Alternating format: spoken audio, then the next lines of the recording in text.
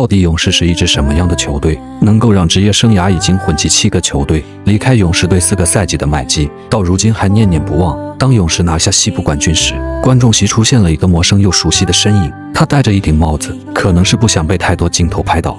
麦基曾在一档节目中谈到，能去勇士队就是老天对自己的恩宠。如今麦基离开勇士队已经五年了。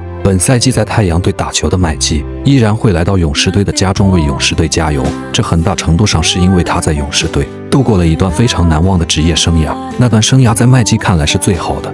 麦基在勇士队效力了两个赛季，在这两个赛季中，他还和勇士队一起赢得了两枚总冠军戒指。勇士队给了麦基一个再次证明自己的机会。他没有暴露出他在防守端的缺点，相反，他的身体天赋在勇士队得到了生动的体现。甚至在决赛中，他对詹姆斯的每一次防守都令人印象深刻。麦基在勇士队得到了主教练和球员的绝对尊重，所有球员都会和库里相处得非常舒适，没有压力。更重要的是，他在勇士队感到快乐。